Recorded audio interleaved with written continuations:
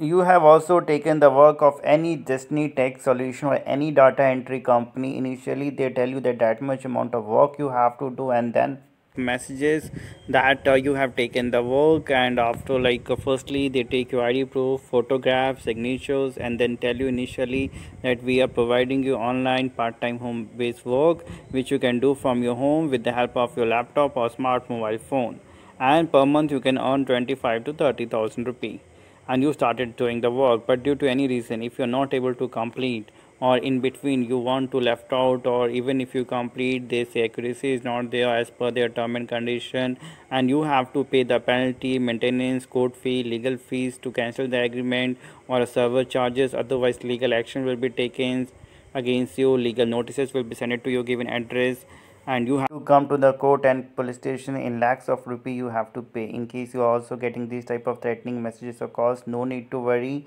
Our lawyer is going to advise you each and everything so that you don't have to worry to pay any amount to them or facing any legal issue or getting any legal notice to your given address. Just whatsapp us and get our help. Save your time and money and come out from this situation. Live your life with love peace and happiness. For help contact us like the video share it subscribe our channel